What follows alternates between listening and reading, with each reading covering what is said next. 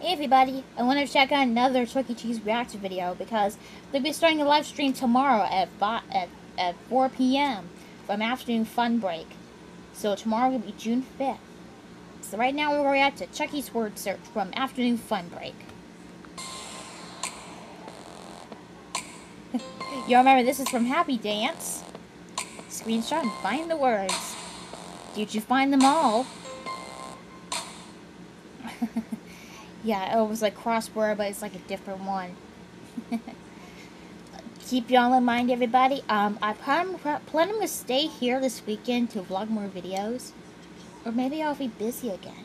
I'm not sure, but I'll let you know. And also, Kirsten Seafeld told me on Google Hangouts that all the Chuck E. Cheese's locations will be closing down. That is totally crazy insane.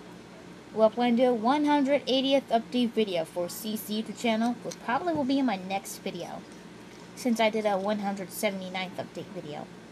Well, thanks for watching everybody. Click that like button. Don't forget to hit that subscribe button if you're not already. And comment down below, are y'all excited for live streams tomorrow from Chuck E. Cheese's Afternoon Fun Break? All you have to do is say, Chuck E. Cheese, please. Thanks for watching, and we'll see you guys next time. Bye, guys.